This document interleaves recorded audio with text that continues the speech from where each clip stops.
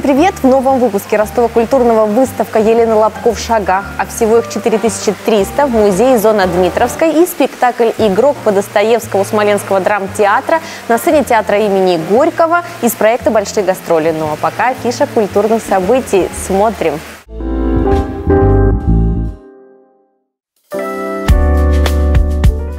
Музыкальный театр приглашает 12 ноября на детскую премьеру на малой сцене сказку «Бременские музыканты», а 13 ноября на яркую, легкую, красочную и наполненную юмором оперетту Штрауса «Летучая мышь».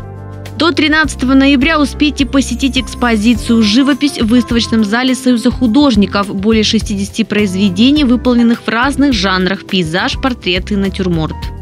11 ноября на сцене театра «Человек в Кубе» спектакль «Три высокие женщины» по одной из самых поздних, но сильных пьес американского драматурга Эдварда Олби. А 12 ноября спектакль-концерт «Город влюбленных людей. История о чувствах», где звучат стихи и песни о любви. На выставке «Возвращение к истокам» в Донской публичной библиотеке студенты училища имени Грекова показывают, чему научились в шитье и вышивке. Специальность театрально-декорационное искусство предполагает знание исторических аналогов и умение их повторить. Экспозиция продлится до 20 ноября.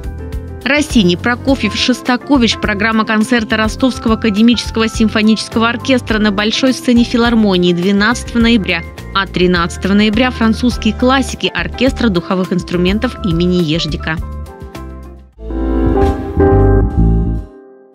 4300 шагов – это не просто механическое определение расстояния от дома до мастерской, а целый творческий путь ростовской художницы Елены Лобко и название ее персональной выставки живописи в музее ЗО на Дмитровской.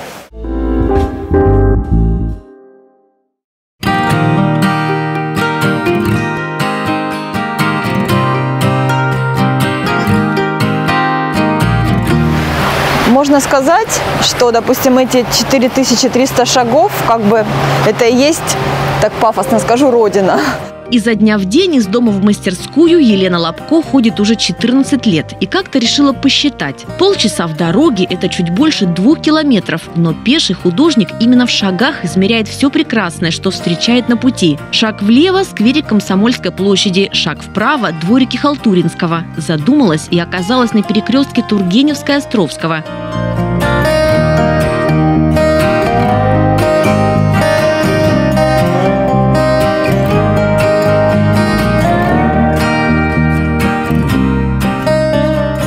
Еще немного и мастерская, а тут и жизнь, и творчество, и новый взгляд на привычные пейзажи. Небольшая, но реальная потеря зрения у Елены размыла границы в сюжетах, появились цветовые пятна. Но такая смазанность идет только на пользу, уверена художник.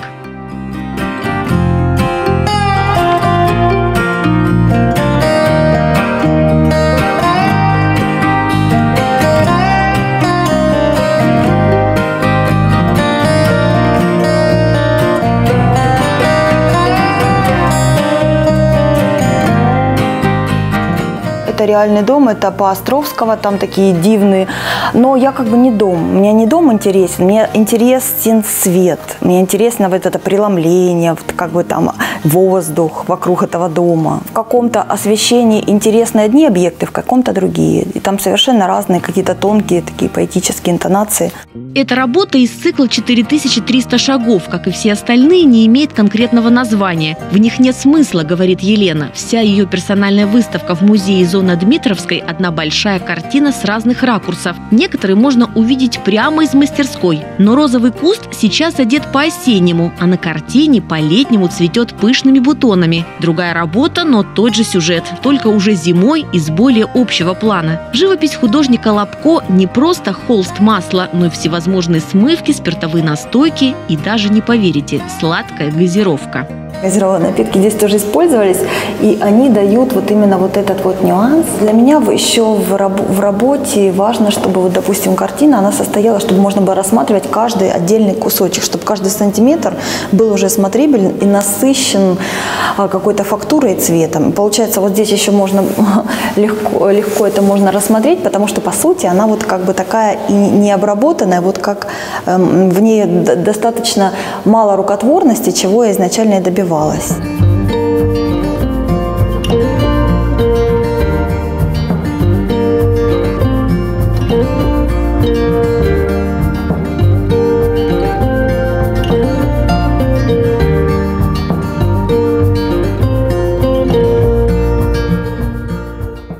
Экспозиция «4300 шагов» смонтирована не по маршруту Комсомольская площадь Тургеневская, а по цвету от художественно-ржавых осенних двориков и изумрудной зелени ветра до и синя-белых снегов. Есть и ночной пейзаж, где сквозь, казалось бы, мрачную палитру лессировки вырисовываются скелеты деревьев. Там какие-то дивные красоты, тени, деревья, с другой стороны какие-то машины, это все освещается, проезжает, играет, какой-то световой фонтан, поток. Мне уже и, и не важно, что конкретно, мне просто важно настроение, ну, ощущение. Вот. А цветовая гамма, ну, опять же, такая, такая эстетика. Часть работ здесь буквально досыхают. На открытии Елена привезла их совсем сырыми, и это тоже подходит к ее концепции. Меньше правдивости и конкретики, больше абстракции и личного восприятия.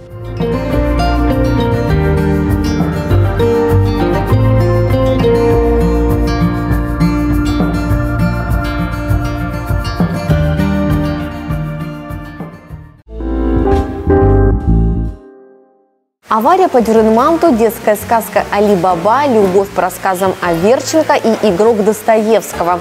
Такие примеры последних двух сезонов привез в Ростов Смоленский драмтеатр. Его большие гастроли проходили на сцене театра имени Горького. Наша съемочная группа посмотрела игрока. Я все мечтал выиграть, мечтал серьезно, страстно. В Баден-Бадене Достоевский проиграл все. С тех пор много целебной воды утекло, а о том азарте Федора Михайловича нам до сих пор напоминает его роман «Игрок».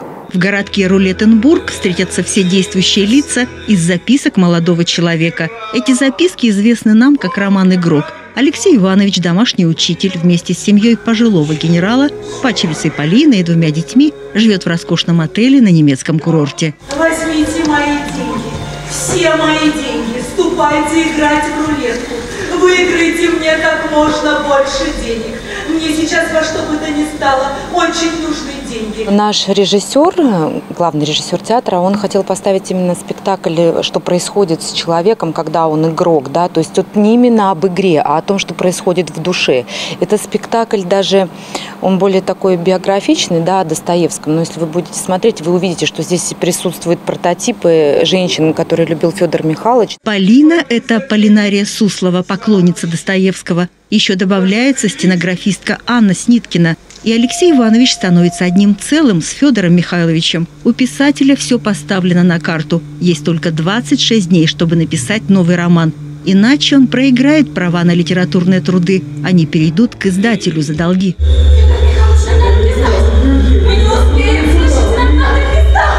Находка режиссера в том, что выразительнее всего суть игрока передадут музыка, пластика и условность декораций.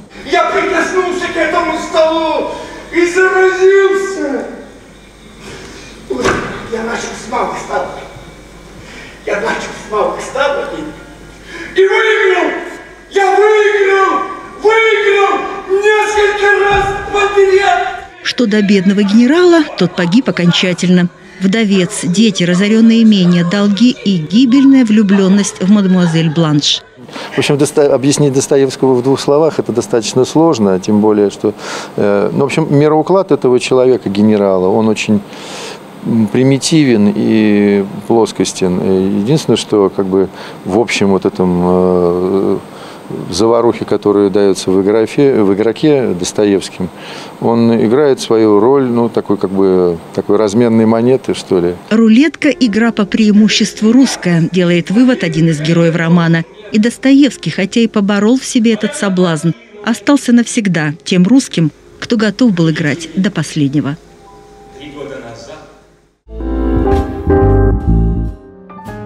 Следующий выпуск Ростова культурного через неделю. Смотрите нас на сайте 1ростов.тв.